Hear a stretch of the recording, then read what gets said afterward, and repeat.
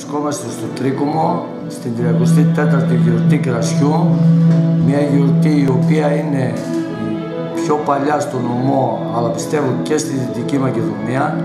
Έχει γίνει σεσμός και πλέον όλα τα γρεβενά, μπορώ να πω και η Δυτική Μακεδονία, περιμένουν πότε θα γίνει η γιορτή Κρασιού.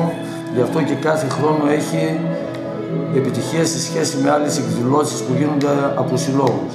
Πιστεύουμε αυτό φυσικά και με τη βοήθεια των χωριανών αλλά και γενικότερα θα συνεχίσει για να μην σταματήσει αυτή η παράδοση που εδώ και 34 χρόνια έχει στο χωριό μας.